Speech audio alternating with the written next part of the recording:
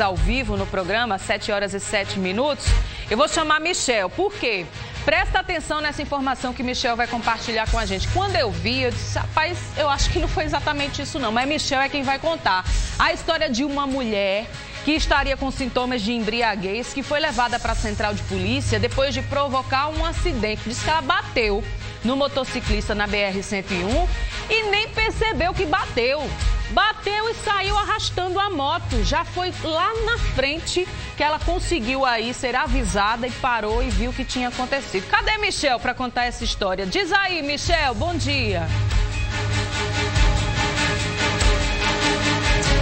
Dia, Anne. Um abraço a você e a todos que nos acompanham no Tambaú da Gente Manhã, na sua TV Tambaú. Pois é, esta mulher, segundo informações da Polícia Militar, ela estaria no bairro Costa Silva, participando de alguma coisa no bairro do Costa Silva, né, em algum estabelecimento naquele local, e saiu deste local para ir para o Engenho Velho. Pegou aquela paralela ali que fica na BR-101 seguindo.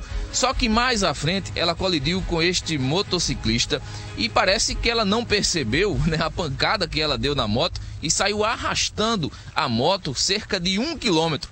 O motociclista, claro, ficou arremessado no chão após o impacto, mas ela seguiu em frente como se nada tivesse acontecido e parou mais na frente porque populares acenaram para ela para que ela pudesse parar porque algo estava errado. Claro, tinha uma moto embaixo do carro e ela não percebeu essa situação. A polícia militar foi acionada, foi até o local, no primeiro local do impacto, o motociclista estava lá no chão, né, ferido, foi chamado o pessoal do SAMU para fazer o atendimento dele e levar até o hospital de trauma para ir receber os melhores cuidados. Após isso, a polícia militar foi mais à frente, porque os populares disseram, ó, o carro que atingiu o motociclista está um pouco mais à frente aqui do local do impacto. Chegando lá, foi encontrado o carro, que é um carro vermelho, uma caminhonete, e a mulher estava lá. Imediatamente os policiais perceberam que ela tinha sintomas de algo diferente, sintomas de embriaguez. Foi aí que chamaram a BPTran para ir até o local para assim fazer o teste do bafômetro.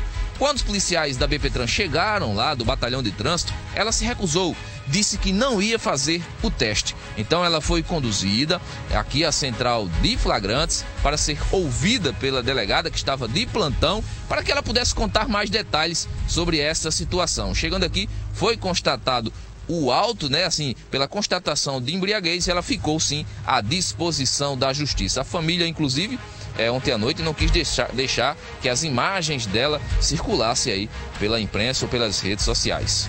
Eu volto contigo, Ana. Obrigada, viu, Michel? Disse a vocês, parece mentira, mas foi verdade. Já pensasse a cena da pessoa bater numa moto, sair arrastando aí por mais de um quilômetro sem perceber? Eita Jesus, graças a Deus o rapaz não se feriu com gravidade, né? O motociclista, viu? 7 e 10, olha essa informação de agora. Uma mulher que foi encontrada morta